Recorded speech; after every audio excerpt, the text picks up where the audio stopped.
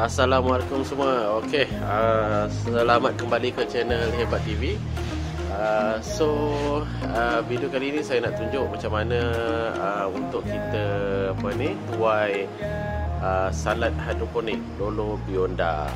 Okey. So, ini saya tanam dekat depan rumah. Depan rumah saya jom. Saya tunjukkan. Kita nak harvest uh, daripada satu net pot je lah uh, sebab uh, kita nak buat sandwich esok. So saya tunjuk kat sini. Okay, nampak tak dekat sini? Uh, snack pot ni. Kita just angkat je tarik.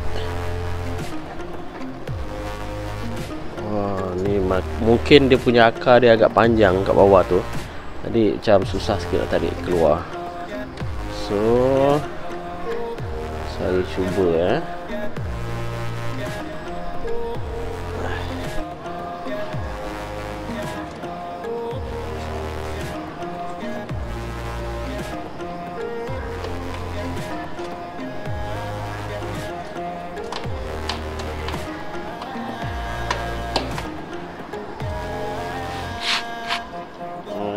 ni dia.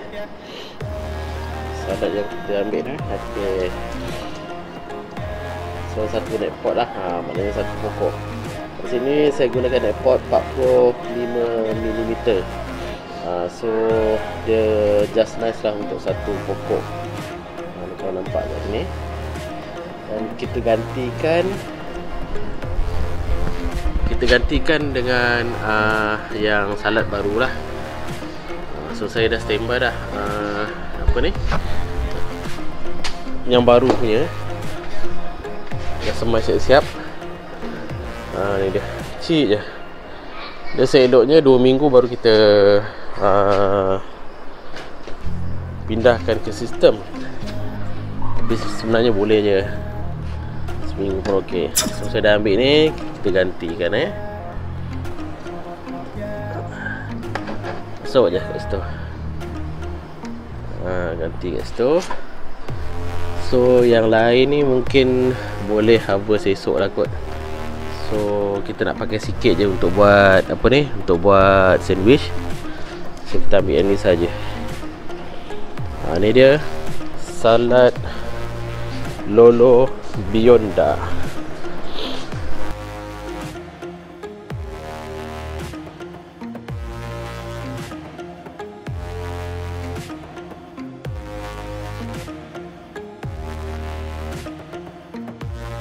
Ha, itulah dia tadi uh, video uh, ringkas macam mana kita nak harvest ataupun kita nak tuai uh, kita punya salad hidroponik uh, jenis Lolo Bionda.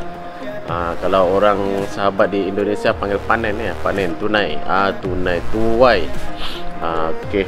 So berjumpa lagi pada video-video akan datang. Jangan lupa subscribe, like, komen dan share uh, sekiranya apa ni uh, ada sebarang cadangan yang menarik uh, jangan segan-segan tulis ya dekat bahagian komen di bawah ya. Okey, assalamualaikum dan salam sejahtera. Bye.